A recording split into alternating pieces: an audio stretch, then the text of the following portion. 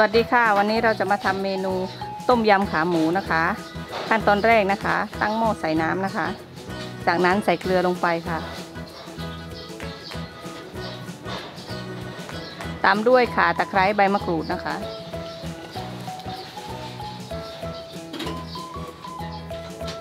จากนั้นใส่ผงปรุงรสลงไปนะคะ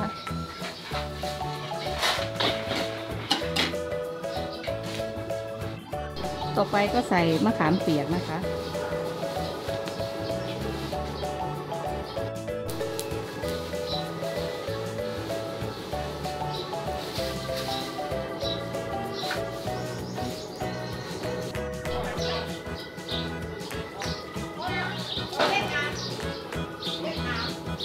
ค่ะ ตอนนี้น้ำก็เดือดแล้วนะคะ เดี๋ยวเราก็จะใส่ขาหมูลงไปเลยนะคะ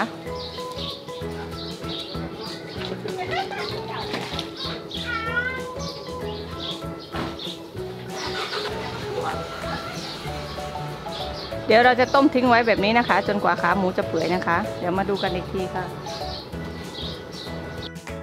ค่ะตอนนี้นะคะ ขาหมูของเราก็เริ่มเปื่อยแล้วนะคะ เราก็จะใส่หอมกระเทียมลงไปนะคะ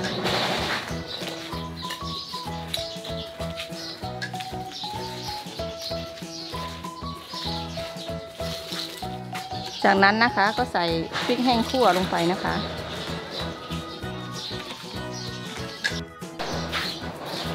ขั้นตอนต่อไปนะคะ เราก็จะใส่มะเขือเทศลงไปนะคะ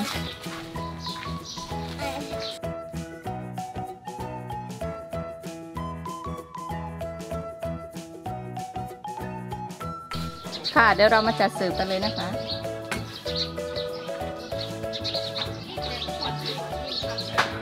ใส่ต้นหอมผักชีลงไปนะคะ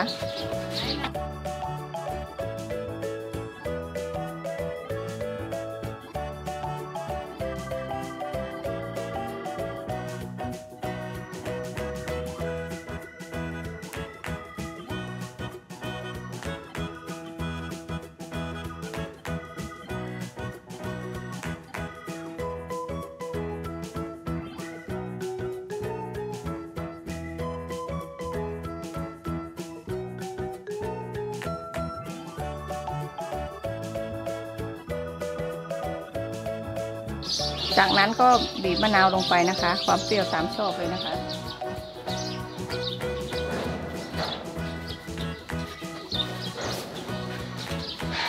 เรียบร้อยค่ะสำหรับเมนูต้มยำขาหมูของเรานะคะสำหรับคลิปนี้ก็ขอตัวลาไปก่อนนะคะ อย่าลืมกดไลค์ กดแชร์ กด Subscribe ให้ช่องไม่โบพากินด้วยนะคะสำหรับคลิปนี้ขอตัวลาไปก่อน สวัสดีค่ะ